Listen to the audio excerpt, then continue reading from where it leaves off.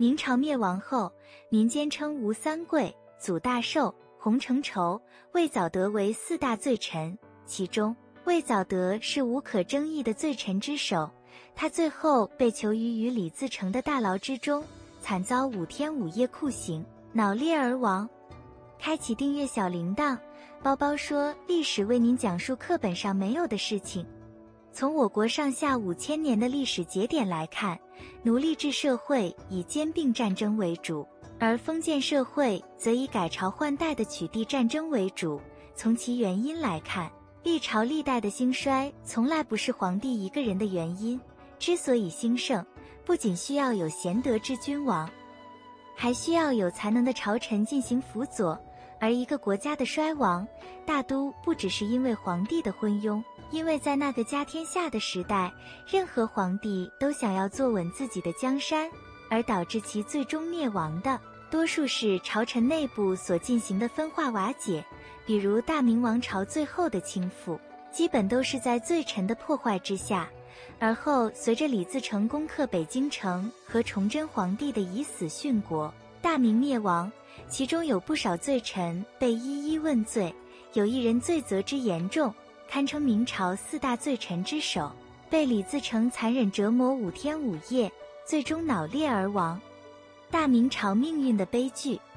明朝虽然前后经历了十几个皇帝，但从他们的经历和作为来看，似乎每一个人都在将明朝向灭亡的道路上推进。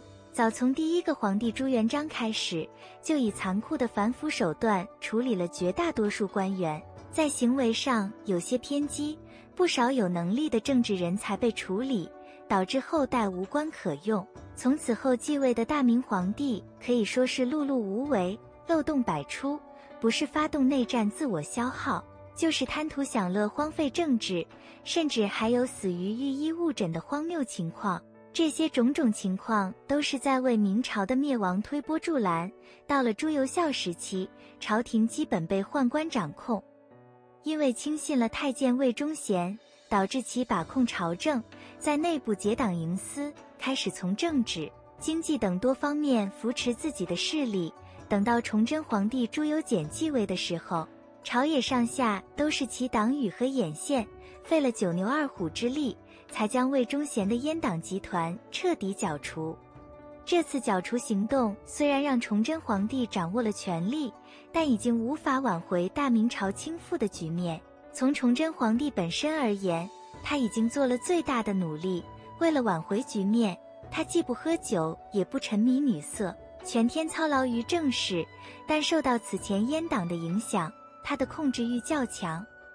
任何事情的处理都过度自信于自己的个人能力，对手下朝臣十分怀疑，这便让一些正确的决策不能及时实施在朝廷之中。而这些种种只是大明朝灭亡的次要原因。朱由检隔绝百官、刚愎自用的行政体系，造成了朝廷内部党争的出现，尤其是在进行多次的首辅更换之后，官僚的管理成本飞速增加。但却不能做到各司其职，这就会造成国家财政的大量浪费。在这种情况下，对民间的进一步索取就会进一步激化矛盾。再加上各地出现的旱灾等自然因素，农民起义在四处频繁爆发，政局出现动荡。而因为崇祯皇帝的刚愎自用，朝中贪官继续在他不知情的情况下暗箱操作，府库空虚之后。竟然直接将魔爪伸向了军队，军饷军粮被大肆侵吞，这些种种行为造成了大明朝国家内外的大混乱。之后，农民反叛的代表李自成崛起，随着大军攻入北京，明朝灭亡。从客观因素上看，崇祯皇帝已经做到了仁至义尽，他自己也曾说过，社稷倾覆乃是百官之祸。因为自己的行为并没有得到官员的贯彻和支持，魏藻德的罪状，随着崇祯皇帝的上吊自杀，明朝不少大臣成了李自成的俘虏，部分被留用，但也有一部分被定义为导致亡国的罪臣。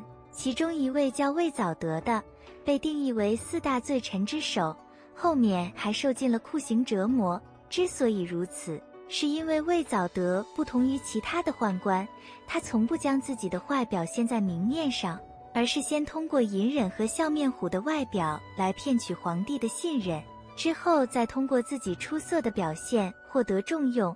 这种善于蛰伏的奸臣，往往是朝廷最后的致命大患。魏藻德是顺天人，也算是都城的坐地户，典型的十年寒窗无人问，一举成名天下知。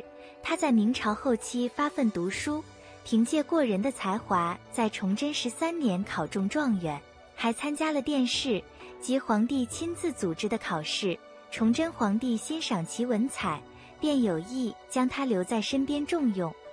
之后便将包括魏藻德在内的一行考生，用报仇雪恨的问题对几人进行了小测试，其余人等都提出了复仇的具体措施。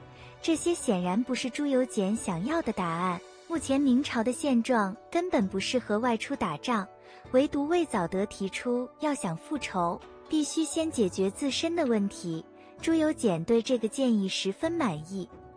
当时尚且不知道他是否为真心，鉴于当时人才凋零，便直接对魏藻德委托重任。魏藻德有了皇帝的支持以后，在朝中逐渐拥有了崇高的地位。此时的他并没有想为国家出力，而是开始利用职务之便中饱私囊。朝臣见到魏藻德地位甚高，纷纷依附寻求庇护。然而少不了的就是钱财贿赂。之后便与百官勾结，让手下的鹰犬爪牙在崇祯皇帝面前吹耳边风。魏藻德的官职越做越大，但无论在哪些方面都没有什么明显的成绩。而就在这时，农民起义的头领李自成率大军攻城略地。此时的崇祯皇帝依然还天真的相信魏藻德的所谓能力，直接赋予他兵权，外派驻守天津重地，自己则坐守都城，寻求脱身之法。结果魏藻德猜到了崇祯皇帝的想法，就连殿后这件事情都束手无策。眼见大兵压境，崇祯皇帝已经十分着急。甚至有了委曲求全、共治天下的打算。于这种情况下询问魏藻德时，他依然表现出明显的慌乱，没有做出任何评价。之后，崇祯决定拼死一搏，但奈何朝中蛀虫遍布，国库空空如也。此时，崇祯便召集群臣，想要他们拿出家资支援战争。但其中最有钱的魏藻德竟然直言自己家里没钱。拒绝了皇帝的请求，结果没用多久，李自成大军就围了北京城。当时破城在即，情况十分危急。魏藻德却拦住了前去给皇上报告情况的大臣，还自称上天保佑大明江山，地下雨儿等自会安然无恙。结果当天晚上就有顶不住压力的宦官外出投降了。随着开门县城，北京被李自成拿下。罪臣的凄惨下场，随着崇祯皇帝的大义自尽，不少明朝大臣感其气节，纷纷以死明志。魏藻德作为当时的首辅大臣，国破家亡之际，理当以死谢罪，但他却选择了苟且偷生。为了不引起风吹草动，魏藻德甚至连自己的家人都一并隐瞒。等到搜查的风声过去之后。才穿着平民的衣服再次返回家中，但李自成如今已经是高高在上的天子，根本不可能放走首辅这种前朝高官，即使是身死，也要找到其尸体验明正身。所以没过多久，魏藻德就被农民军抓了。在面对李自成时，魏藻德又一次露出了谄媚的样子，李自成自然不会吃他这一套骗术。甚至还故意调侃问他：“身为朝廷重要官员，为何不随皇帝而去，也算留下忠臣之名？”此时的魏藻德也顾不得其他，顺杆爬似的说道：“我之所以没有死，是为了给您尽忠啊！”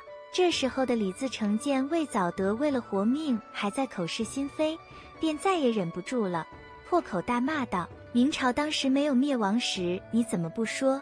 既受国恩，便应当以死而报之。说的魏藻德哑口无言。国家危亡之际，不以国事为先，只考虑自己便是不忠。自当官之日起，便为了一己私利，笼络国家财政，闭塞圣上视听，欺上瞒下，拒绝为国家出资。这些行为都是造成明朝崩塌的重要原因。